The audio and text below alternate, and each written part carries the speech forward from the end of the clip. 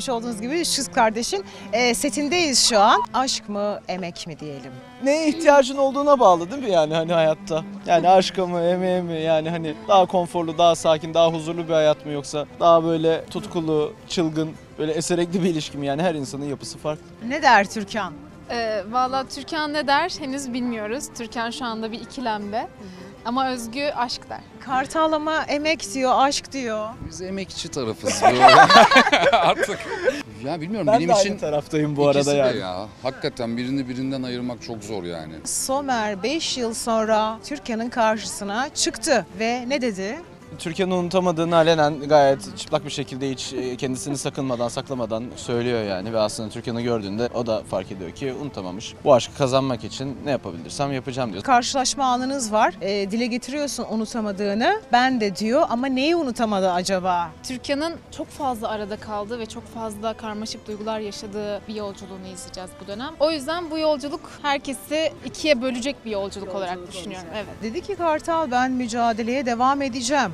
Somer ne yapar? Türkan'la bir ilişki kurma arzusu var Somer'in daha çok yani. Ben Türkan'ı seviyorum. Benimle birlikte olsun yani herhangi bir var.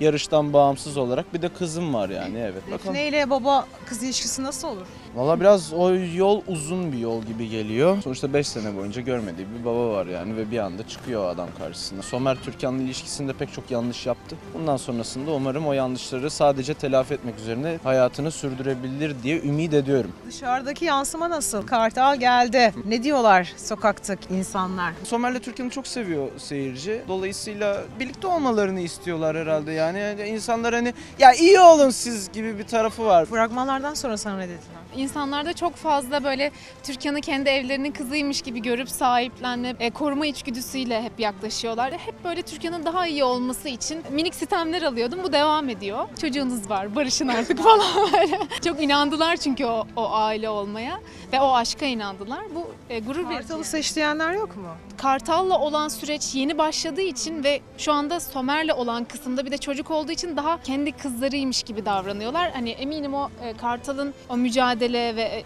Somer'in olmadığı dönemlerde, Türkan'ın yanında olduğu dönemleri gördükleri takdirde dediğim gibi seyirci ikiye ayrılacak diye düşünüyorum. Seyirci Türkan ve Somer'in barışmasını istiyor ama Türkan ve Kartal'ın da e, nasıl bir birliktelik yaşayabileceğine dair merakları olduğunu hissediyorum yani. İyileşen bir iki ruh var orada Hı hı. değil evet, mi? Evet, birbirlerine iyi gelen, Somer'in yokluğunda Defne'ye babalık etmiş. Tabii ki de Türkan'a zaman içerisinde iyi gelmiştir, Defne'ye iyi gelmiştir. Kendisinin kızını kaybetmiş olduğundan dolayı şey yapmıştır. Yani bilmiyorum Gökberk daha iyi ifade eder hani o Yo, aksı. aynı, aynı katılıyorum.